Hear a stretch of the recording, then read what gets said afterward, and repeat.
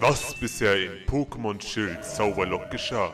Die wunderschöne Protagonistin betritt die sechste Arena, nachdem sie festgestellt hatte, dass es eine Eis- und keine Steinarena hatte. Dort hat sie in dem Rätsel der Macht Rätsel einige Rätsel gemacht, ist oft gescheitert und ist dann zur Arenaleiterin von dieser Stadt gegangen.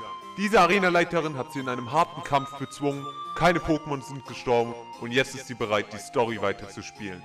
Und damit willkommen zurück zu Pokémon Schild Zauberlock mit kurzen Haaren. Ich habe Pokémon Schild das letzte Mal, lass uns mal kurz schauen, im Januar, glaube ich, gespielt. Das letzte Mal im Februar, kurz vor Mario, habe ich das Spiel zum letzten Mal gespielt. Wow. Ist jetzt ein Monat her, sogar fast zwei Monate. Man sieht, das Spiel, äh, das Let's Play läuft nicht so gut voran. Ich bin momentan auch im Video-Engpass, weil ich im Suez-Kanal stuck bin. Ich äh, nehme gerade aus Not auf. Ich weiß nicht, was ich tun soll. Denn momentan kommt gefühlt gar nichts. Auf jeden Fall hat Sanja uns beauftragt, dass wir hier reingehen sollen und zuhören sollen, was sie sagt. Mal schauen, was sie... So, oh mein Gott, was ist das für ein Steakhouse? Okay. Wollen wir mal kurz festhalten. Ich möchte euch eine Sache erzählen. Die Routenmusik ist seit vier Routen dieselbe Musik, aber ein Steakhouse hat seine eigene Musik. Game Design. Oh hey Paya, bist du wieder am Game Freak äh, äh, äh, dissen? Was bist du für einer? Ja Mann, ich dachte, du würdest aufhören, Schwert und Schild zu fronten. Hm. Und dann fragst du dich, warum äh, dass deine Videos immer weniger geklickt werden. Dein Ernst? Das tut im Herzen weh. Ich habe noch nichts Neues über die finstere Nacht oder die Pokémon des Schwertes und des Schildes rausgefunden. Oh, hier ist ein random Plakat. Bruder, was? Was für ein Zufall. Moment, das ist ja ein richtiger Zufall. Ist so, Alter. So richtig krass. Top 10 Storywriting. Oh mein Gott, ich habe heute wieder Bock, Game Freak zu mobben. Obwohl ich gestern die Spiele noch gelobt habe. Das gibt's doch nicht. Schau mal, Link und Zelda sehen traurig aus. Und wo sind das Master Sword und das Hylia-Schild hin? Hm, was hat diese Darstellung bloß zu bedeuten? Vielleicht endet so die Legende. Und die haben verloren. Und dann begann Breath of the Wild. Und dann haben die Ganon hops genommen. Hm, das könnte sein. Aber kann das sein? Wahrscheinlich ist das Schwert in so eine Art Schlummer gegangen. Wie ich gerade gesagt habe.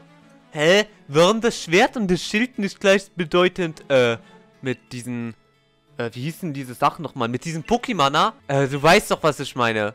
Damals im Schlummerwald, Bro.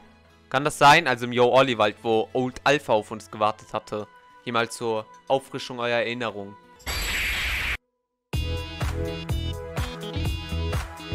Ja, ganz genau, Old Alpha, der uns da mit Chloroform zugeschlagen hat. Äh, dieses Pokémon aus dem Nebel könnte doch eins dieser Pokémon aus der Legende sein. Ah, stimmt, da war ja was. Schlummerwald.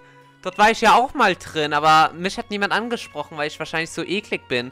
Ähm, aber lass uns jetzt mal Steak essen. Wir haben genug nachgedacht. Alter, wäre es in der Schule so, wenn ich so eine Antwort sage und die Lehrer mir Steak geben würden, dann würde ich das auch fühlen. Alles klar, äh, wir sollten, äh, äh, zu dieser Heroinferme gehen. Die Heroinferme? Hier soll der Held, oder besser gesagt, hier sollen beide Helden vor langer Zeit ihre Wunden gewaschen und sich auskur... Lese ich das gerade richtig? Also haben die zusammen nackt gebadet? Link und Zelda. Leute, es ist eure Zeit, in den Kommentaren Fanfictions zu schreiben. Macht das bitte. Ich liebe Fanfictions. Ja, Link und Zelda waren hier, nachdem sie das, äh, die Verjährung Ganon besiegt haben. Ich meine, Link mag ja auch heiße Quellen im BOTW. Was hier gibt's denn? Ah, heute wird die Heroentherme eigentlich nur von Pokémon genutzt. Komisch. Mögen die Pokémon etwa die Helden? Oh, ich verstehe hier nichts. Oh, komm, lass uns einen epischen Kampf hinlegen. In nein, ich habe den falschen Knopf gedrückt.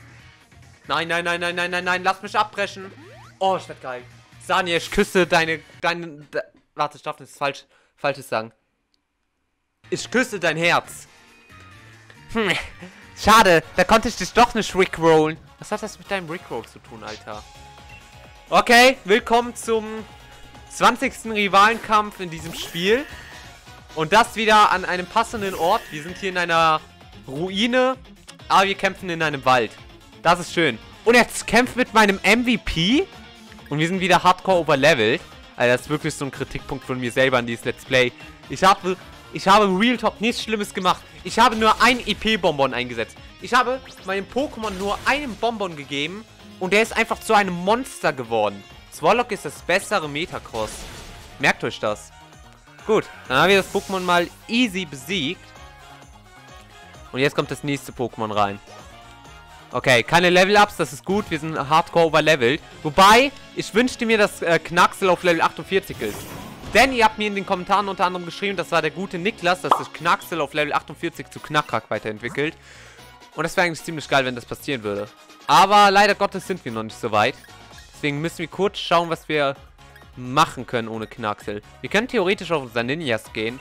Und mit einem wunderschönen Käferbiss können wir Gottrum ganz schön in die Enge nehmen. Also das sollte relativ easy sein. Denn Gottrum ist nicht kein allzu starkes Pokémon. Junge, schau mal. Wie viel Damage hat er gemacht? 20 mit einem Crit. No front. Real Talk, no front. Aber... Das ist ein Trauerspiel. Okay, Käferbiss kommt. Gottrum wird äh, komplett zerlegt. Hoffentlich. Nein. Leider überlebt er. Und jetzt kommt er mit einem Doppelsch... Oh. Oh. Er kann doch etwas mehr als gedacht. Aber wie gesagt, wir sind eine schnelle Wespe. Und wir stechen Leute ab. Und äh, so, äh, verbreiten Angst und Schrecken, wie es Team Rocket tut. Also hier mal einfach zur Veranschaulichung, wie Team...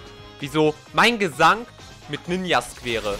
Also wir beide fühlen uns wie Jesse und James der Neuzeit.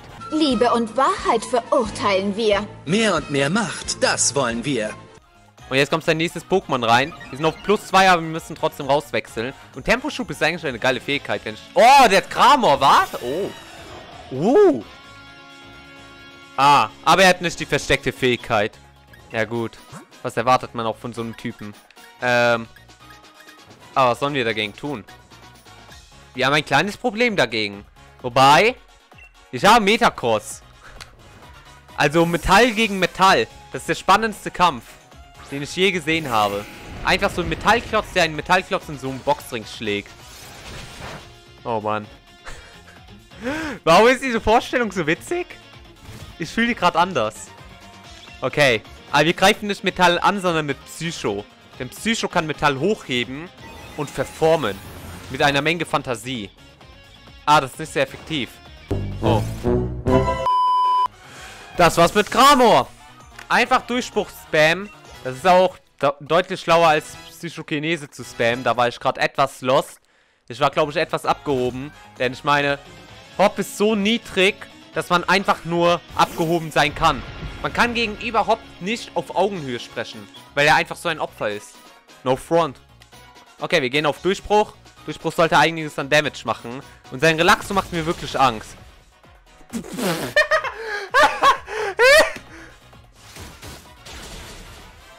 okay. Oh! Gib mir keinen Herzinfarkt. Für einen Moment wollte... Das wäre so Karma gewesen, wenn jetzt mein Metacross gestorben wäre. Oh mein Gott. Das wäre perfektes Karma gewesen und ich hätte den perfekten Videotitel gehabt. Aber nee, schade. Denkst du etwa, du hast mich am Wickeln? Nix da. Ich mach dich fertig mit stärkstes Pokémon. Okay. Man sagt ja immer, man darf keine Mitmenschen mobben. Ich meine, es ist nicht schön, andere Menschen zu ärgern, aber... Und es ist... Es ist irgendwo kacke, wenn ich ihn jetzt so richtig fronten würde. Aber... Bro. Versuchst du mit diesem Arschmund ich weiß, das sieht in meinen Augen so aus, als hätte er ein S in der Fresse. Glaubst du, mit diesem S und Stacheldings kannst du mich besiegen? Da, selbst ein Kindergartenkind könnte einfach dein Pritzegel hochheben und wegwerfen und es ist tot. Guck mal, das war nix. Und das soll dein stärkstes Pokémon sein. Halt durch, Partner! Wer die Leid zufügt, kriegst mit mir zu... Junge, ich geb dir eine Ohrfeige und du liegst. Und das sagt er erst, und das sagt er erst, nachdem sein Pokémon tot ist. Waren wir etwa so gut, dass die Pox erst später getriggert wurde, oder was? Das war ja pure Zerstörung. Boah. Du hast ihn ja wegdominiert. Einfach. Ähm, ich sag's lieber nicht. Sonst äh, ist die Monetarisierung flöten vom guten Paya. Sanja, ich küsse dein Herz nochmal. Ich werde mich wieder der Arena-Challenge widmen. Und sobald ich den Arena-Orden in der Tasche habe, geht's schnurstracks über Route 9 nach Spikeford. Spikeford?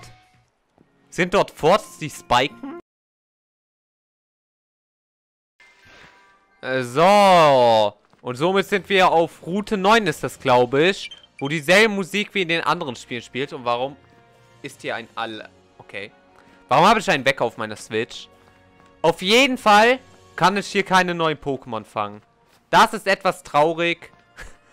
Denn äh, wir haben vor zwei Parts leider unseren Encounter verkackt. Und deswegen funktioniert es nicht. Und was geht hier ab? Warum ist hier Team Yell? Wir lassen niemanden nach Spike fort. Ist das klar, ey? Das heißt, wir Nasen wie dich. Auch für alle anderen ist Route 9 kaputt. Du kannst nach Hause fahren. Warte mal, ich muss mich wie ein Hooligan kleiden, um es mehr zu fühlen. A few moments later. Du kannst nach Hause fahren. Du kannst nach Hause fahren. That escalated quickly. Ja, Mann. Wir von Team Yell feiern Kamalm total.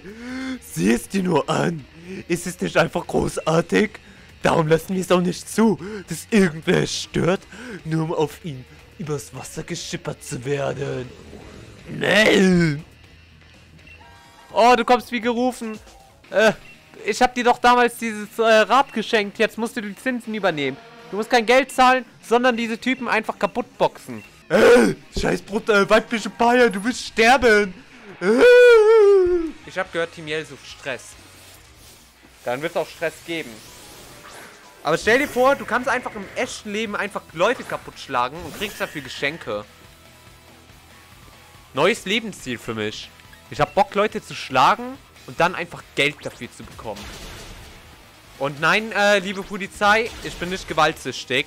Und als ob der mit einem KP überlebt hatte. Zum Glück greift Doppelkick zweimal an. Ihm einfach so das Überleben vorgegaukelt und dann getötet. Oh, sowas gefällt mir, wenn man seine Gegner quält. Aufmachen, Polizei! Okay, hier ist Pandakro. Ja, Pandakro. Den schlage ich einfach kaputt mit meinem Doppelkick. Der ist dann instant weg, glaube ich. Aber der ist halt mit Patronenhieb schneller. Und ich sollte vielleicht aufhören, mit Dubwool zu kämpfen, glaube ich. Denn der ist, glaube ich, inzwischen viel zu stark. Der ist jetzt auf Level 50. Was schon ziemlich overpowered ist. Ich könnte mit Knaxel kämpfen. Oh, Risiko-Tackle. Let's go. Bodycheck machen wir mal weg. Ähm, ich glaube, ich kämpfe ab jetzt einfach mal mit Knaxel. Das wird, glaube ich, etwas besser. Äh, ich will echt einfach nur nach Spikeford zurück, ey. Sie redet nicht mal mehr wie ein Hooligan. Findest du ein paar... Es entwickelt sich auf Level 35? Ah ja. Oder kann ich einfach nicht zählen? Auf jeden Fall, wir haben Intellion. Den, den hässlichsten Starter of all time, meiner Meinung nach. Wobei... Ja, es ist der hässlichste Starter überhaupt. Auch wenn ich äh, seine Anlehnung geil finde. Der ist an James Bond angelehnt. Ich frage mich, was seine Pokédex-Nummer ist. Wenn das 007 wäre, wäre es 20 von 10, aber ich glaube, es ist 009. Einfach so äh, James Bond auf Wish bestellt. Okay, Klammergriff kann weg. Was, was wollen wir mit Klammergriff? Real Talk. Das ist Schrott. Ich hoffe, der lernt noch ein, ein paar bessere Moves. Aber wir haben jetzt einen Starter, was ziemlich geil ist. Äh, ich habe die Idee. Äh, äh, wir hauen ab. Auf Nimmerwiedersehen. Auf Nimmerwiedersehen. Und Kamalm haut auch ab. Ach so, die wollen über Kamalm reiten. Auf Kamalm reiten, lol. Ja, gut. Ne? Äh, wie läuft's denn so? Genießt du das Leben als Radfahrer? Hier, ich kann dein Rad upgraden. Danke, Mann. Wirklich korrekt. Jetzt können wir sogar über Wasser laufen. Ich erkläre euch jetzt in einem epischen Ton, was das Geilste daran ist. Filter an. Erotische Stimme an. Sonnenbrille an. Und jetzt geht's los. Also, meine werten Freunde, willkommen zu unserer Werbung. Und zwar könnt ihr ganz einfach mit dem Rotomrad 3000 ohne Loadscreens ins Wasser gehen. Das nennt man Quality of Life Changing. Und so könnt ihr einiges auf der besten Route des Spiels erleben. Dankeschön, Marketing-Paya ohne Anzug. Ähm, beziehungsweise das war ja ich selber einfach mit meiner erotischen Stimme, die ich ab und zu raushauen kann. Leider kann ich die nicht immer raushauen, weil ich äh, nicht dafür sorgen will, dass alle Menschen einfach unmächtig werden von meiner wunderschönen Stimme. Deswegen muss ich es leider nur ab und zu machen. Und als ob mich der Trainer Mario von dort ganz hinten gesehen hat. Ja, moin. Okay, Kaokto kommt rein. Ich meine, wieso nicht? Oh. Oh. Das ist nicht so nice.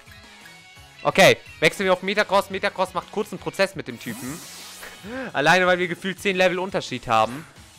Oh, das ist so krank. Die sind halt, halt so krass overlevelt. Das ist unnormal. Okay, dann boxe ich den Trainer gleich mal weg. Das sollte wirklich relativ simpel sein. Eine Psychokinese. Okay. Okay. Wir wetten jetzt, wenn ich schlage mich fünfmal in meinem Gesicht, wenn Psychokinese nicht one-hittet. Warte, nein! Ich wollte was anderes sagen. Das one-hittet niemand. Ah, doch, es one-hittet. Also muss ich mich nicht schlagen. Ich, der Pokémon-Meister, kenne mich doch aus. Ja, ja, wahrscheinlich. Und da wurde der Typ ganz schön schnell zerstört.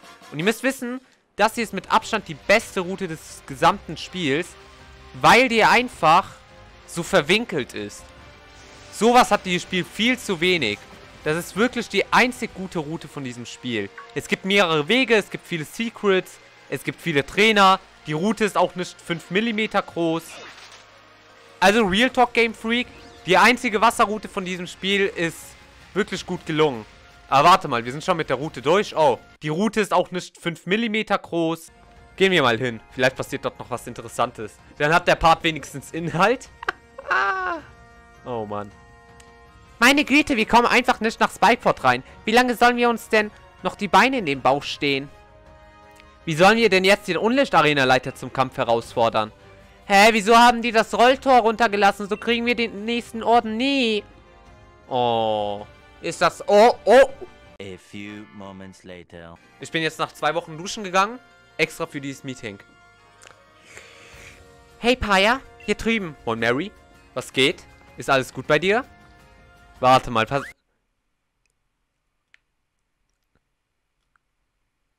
Ich hatte gerade ein Brain Lag.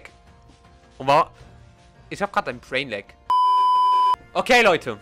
Es ist gerade was sehr Weirdes passiert. Ich musste cutten, weil ich, äh, mein Gehirn gerade komplett kaputt war. Ich weiß nicht warum. Wahrscheinlich war ich gerade von Mary so paralysiert von ihrer äh, wunderschönen, ähm, wirklich wunderbildhübschen Ausstrahlung und Atmosphäre. Äh, deswegen muss ich euch eine Sache äh, bestätigen. Und zwar, der Part endet. Ganz einfach aus dem Grund, weil gleich was passieren wird. Aber ich spoiler nicht. Wir werden das nächste Mal sehen, was Mary von uns will. Und dann wahrscheinlich in die siebte Arena von Spikeford gehen. Aber ich verabschiede mich fürs Erste und sage, ciao for now.